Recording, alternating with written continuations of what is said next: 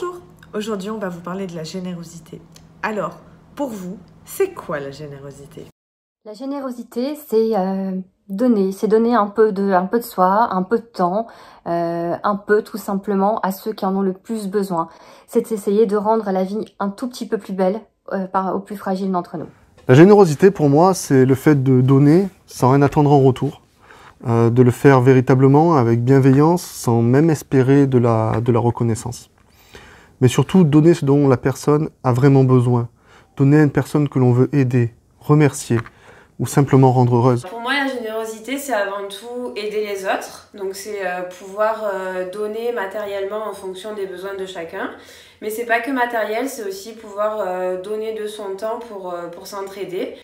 La générosité, selon moi, c'est la capacité pour tout un chacun de faire un geste à son échelle pour apporter du réconfort et du soutien à ceux qui en ont le plus besoin.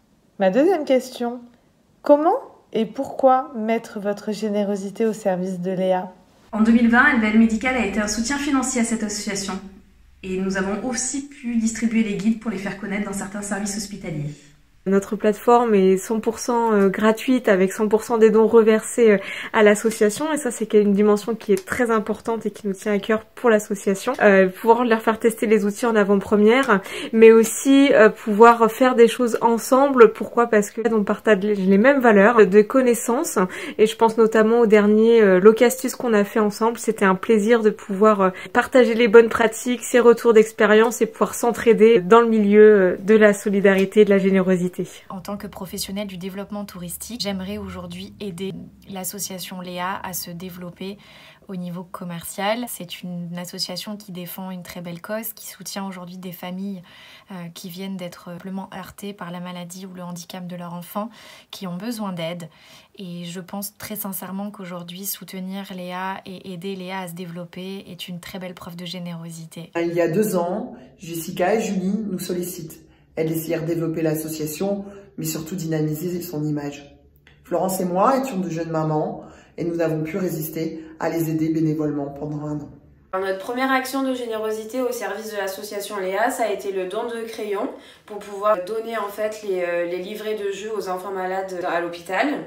Ensuite, euh, on a pu donc donner matériellement, mais aussi donner de notre temps. On a pu participer à une action de bénévolat à l'hôpital d'Avignon. Organisé en fait un concours dessin avec les enfants hospitalisés où ils ont pu gagner de, nombreux cadeaux. Et euh, la dernière action qui est en cours, c'est au sujet de notre jeu éco-responsable et solidaire, le Quiz My Face, où on reverse un euro euh, pour chaque jeu vendu à l'association Léa. J'essaie de donner de mon temps et de mon expertise pour les aider à trouver du soutien auprès des professions ciblées ou des donateurs qui font vivre cette cause indispensable. Didon.org, c'est la solution qui permet de transformer les cartes cadeaux qu'on reçoit à Noël de la part d'un comité d'entreprise ou de la part de nos proches en dons pour des associations.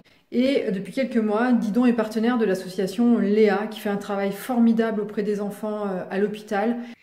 Chez Epopia, on est une petite maison d'édition euh, qui proposons des aventures par courrier dont les enfants sont les héros pour les faire lire, écrire et rêver.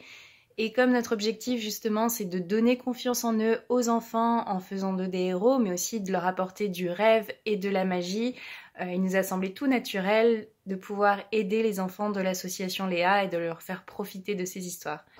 Pourquoi Léa? Parce que euh, c'est avant tout l'histoire d'une rencontre avec euh, une association qui nous a beaucoup touchés de par son action euh, auprès des enfants, parce qu'on s'est retrouvés unis par les mêmes valeurs, le même objectif et l'envie de faire du bien autour de nous.